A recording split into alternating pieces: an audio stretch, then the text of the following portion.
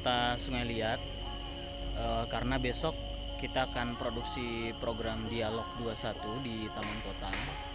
Eh, jadi kita lihat eh, lokasi seperti apa, kita survei lokasi seperti apa, terus melihat eh, keberadaan eh, stage yang nanti akan digunakan untuk syuting dan meninjau beberapa blocking eh, untuk bisa menempatkan peralatan control room plus juga beberapa kamera.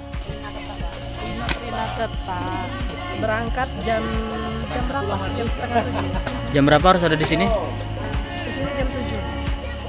Oh jam setengah tujuh berarti. Kan mau setting di sarapan dulu. Sarapan di sini ya? Rebranding sarapan. Nomor kos.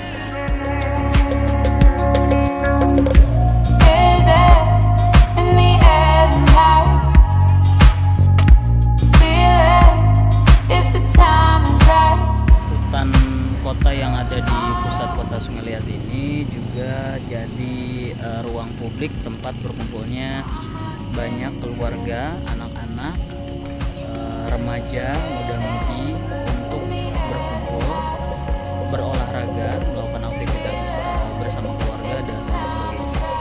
Eh, banyak yang berubah dari taman kota ini, apalagi pemerintah tengah fokus buat meraih eh, meraih Adipura dan juga menjadi salah satu kota yang eh, ramah anak sudah ya sudah bahkan Sungai Liat menjadi kota yang ramah anak untuk banyak anak.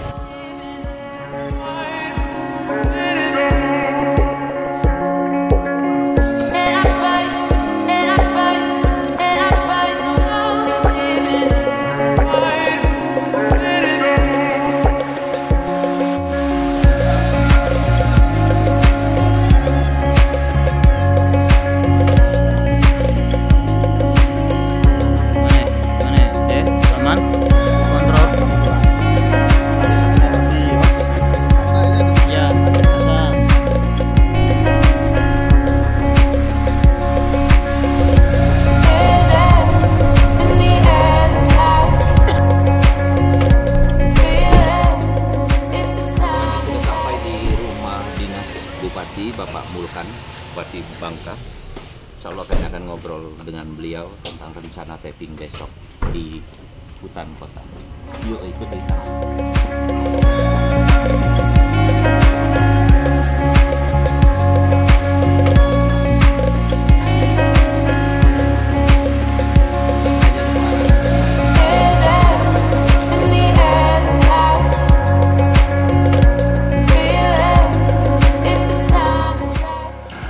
right. ke Taman Kota lagi bersama Pak Bupati Baru aja ketemu Pak Bupati, kita barusan di rumah dinas. Pak Bupati kayaknya lagi buru-buru banget.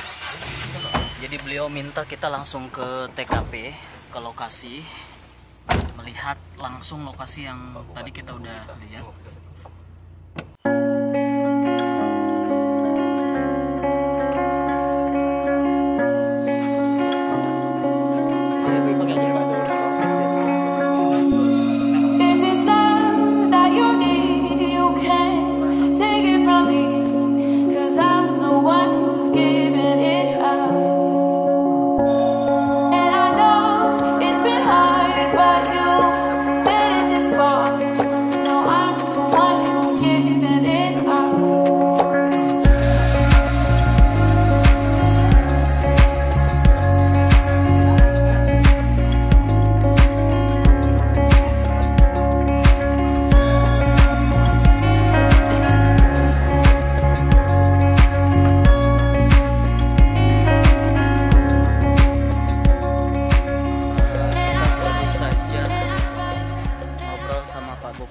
Dan ngomongin untuk konsep besok acara dialog dan juga ILM dan keputusan finalnya kita akan bagi dua sesi di setiap episode. Sesi pertama tanpa audiens itu hanya antara bupati dan wakil bupati saja. Sesi kedua eh, melibatkan audiens dan interaktif. Oke dan yang terakhir adalah ILM. Mudah-mudahan besok lancar dan kita bisa on time datang ke sini, nggak ada kendala yang berarti, cuaca cerah dan bla bla bla bla bla bla. Intinya harapan yang eh, yang baik lah buat acara besok.